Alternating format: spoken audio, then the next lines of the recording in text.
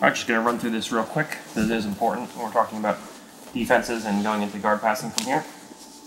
We want to, again, when we go to build to a standing position and to kneeling position, kneeling and standing positions, we want to tuck our leg in, we want to tuck our heel in, we want to rock up like so.